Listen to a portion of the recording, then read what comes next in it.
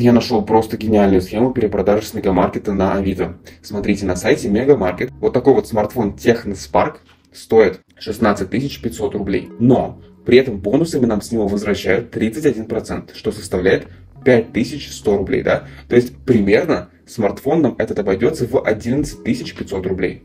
А теперь заходим на Авито и видим, что тот же смартфон тут продают за 16 тысяч рублей. При этом это рыночная цена. То есть Получается, что мы покупаем за 11 500 рублей, а продаем за 16 тысяч рублей. И таким образом мы зарабатываем 4500 рублей с каждой продажи. Понимаете? И так можно повторять сколько угодно раз. То есть это совершенно гениальнейший бизнес, и здесь не нужно даже закупать товар.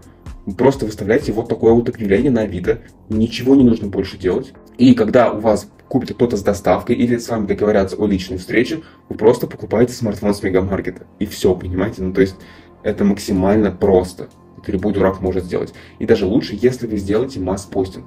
Вот видите, у этого человека только одно объявление по данному смартфону, а можно сделать много объявлений. И тогда у вас будет больше просмотров. Так что берите пример, как можете скопировать просто весь этот бизнес и зарабатывать, ребят. Это самый простой способ, который я знаю. Так что пишите в комментариях свои результаты и что снять в следующий раз. Спасибо за просмотр.